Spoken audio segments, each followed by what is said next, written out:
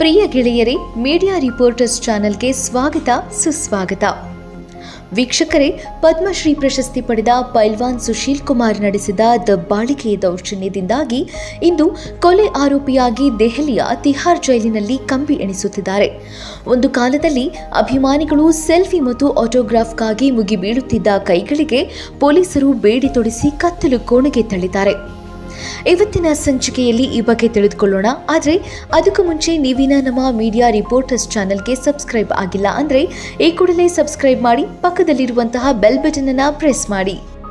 ವೀಕ್ಷಕರೇ, ದೆಹಲಿಯ ನಜಾಬ್ಘರ್ನಲ್ಲಿ ಸಾವಿರದ ಒಂಬೈನೂರ ಎಂಬತ್ಮೂರರಲ್ಲಿ ಜನಿಸಿದ ಸುಶೀಲ್ ಕುಮಾರ್, ರೆಸಲಿಂಗ್ನಲ್ಲಿ ಸಾಧನೆ ಮಾಡಲು ಮುಂದಾಗಿ ಪದಕಗಳನ್ನು ಗೆದ್ದರೂ ಅಗತ್ಯವಾದ ಉಪಕರಣಗಳು ಇರಲಿಲ್ಲ.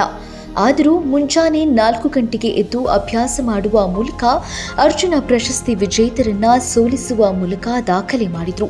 ಎರಡು ಸಾವಿರದ ಮೂರರಲ್ಲಿ ವಿಶ್ವಮಟ್ಟದ ಚಾಂಪಿಯನ್ ಎನಿಸಿದ ಸುಶೀಲ್ ಒಲಿಂಪಿಕ್ಸ್ನಲ್ಲಿ ಚಿನ್ನದ ಪದಕ ಗಳಿಸಿದರು. ಎರಡು ಸಾವಿರದ ಎಂಟರಲ್ಲಿ ಕೇಂದ್ರ ಸರ್ಕಾರ ಇವರಿಗೆ ಟ್ರೈನರ್ ಕೊಟ್ಟ ಕಾರಣ ಬೀಜಿಂಗ್ನಲ್ಲಿ ನಡೆದ ಒಲಿಂಪಿಕ್ನಲ್ಲಿ ಚಿನ್ನದ ಪದಕ ಗೆದ್ರು.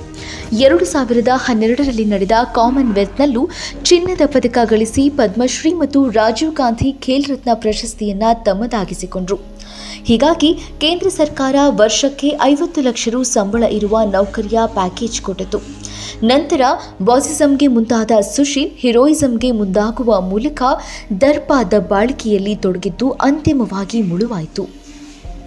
ಗ್ಯಾಂಗ್ಸ್ಟರ್ಗಳ ಜೊತೆಗೆ ಬಹಿರಂಗವಾಗಿ ಪಾರ್ಟಿ ಮಾಡಲು ಮುಂದಾದ ಸುಶೀಲ್ ದೆಹಲಿಯಲ್ಲಿ ಆಗತಾನೆ ಮುನ್ನೆಲೆಗೆ ಬರುತ್ತಿದ್ದ ಜೂನಿಯರ್ ಪೈಲ್ವಾನ್ ಸಾಗರ್ ಅವರ ಸಾಧನೆಯನ್ನ ಸಹಿಸದೆ ಹೋದರು. ಇಬ್ಬರ ನಡುವೆ ಕೋಲ್ಡ್ ವಾರ್ ಆರಂಭ ಆಗಿತ್ತು. ಒಂದು ದಿನ ಸುಶೀಲ್ ಕಾರನ್ನ ಅಡ್ಡಗಟ್ಟಿ ಸಾಗರ್ ಹಾಗೂ ಆತನ ಸ್ನೇಹಿತನನ್ನ ತಾರಾಮಾರ ಬಡಿದು ಅದನ್ನ ವಿಡಿಯೋ ಮಾಡಿಕೊಂಡು ವೈರಲ್ ಮಾಡಿದ್ರು. ಬೀದಿ ಕಾಳಗದಲ್ಲಿ ಸಾಗರ್ ಸಾವನ್ನಪ್ಪಿದ್ರಿಂದ ಸುಶೀಲ್ ಕುಮಾರ್ ಪಂಜಾಬ್ಗೆ ತೆರಳಿ ವೇಷ ಮರೆಸಿಕೊಂಡು ಬದುಕುತ್ತಿದ್ದರಾದರೂ ಪೊಲೀಸರ ಹುಡುಕಾಟದಿಂದ ಕಂಗಾಲಾಗಿ ದೆಹಲಿ ಪೊಲೀಸರಿಗೆ ಶರಣಾದರು.